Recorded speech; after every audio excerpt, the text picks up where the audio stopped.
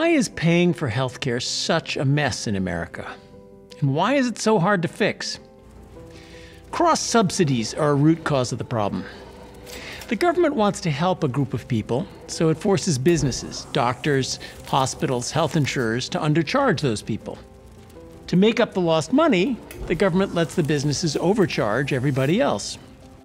But in order for this scheme to work, the government can't let health providers and insurers offer better or cheaper care to the people who are being overcharged. So the government has to enforce monopolies and stifle competition.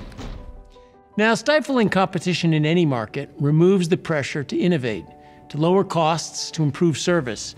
And soon, everybody, even the people getting the subsidy, pay more than they would in a competitive market. Now, the government wants to help the elderly and the poor to pay for health care. But lawmakers don't want to be seen taxing and spending, so they force doctors, hospitals, and insurers to pay it. Medicare and Medicaid programs pay hospitals and doctors less than the cost of treatment. The government mandates that hospitals provide emergency care to everyone, regardless of whether they pay. Healthcare providers make up the difference by overcharging people with private insurance or cash paying customers. In return, the government makes it hard or impossible to start new hospitals or insurance companies that cater to young, healthy, and cash paying customers. This is an old game. The federal government used to require the telephone companies provide landlines at low cost, especially to rural areas. So it forced a cross subsidy from overpriced long distance calls to the landlines. The government enforced telephone monopolies to keep new phone companies out and long distance prices up. But when telephone service was deregulated, costs for everyone plummeted, and the quality of service grew enormously. Now we take cell phones for granted.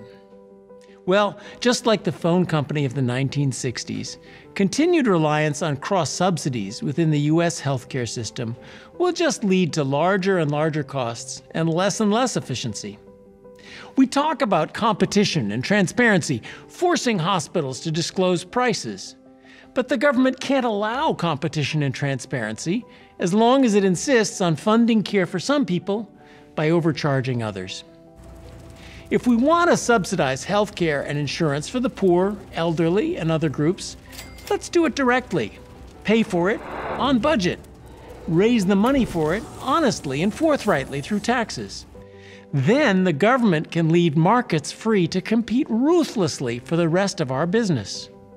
There's no fundamental reason that in order to help people in need, your and my health care and health insurance must be so thoroughly screwed up.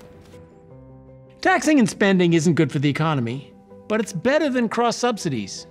It allows most people's health care and insurance to be provided by an unfettered, competitive, and innovative market. It ensures voters can see where their money's going and decide if they want to be more or less generous and to who.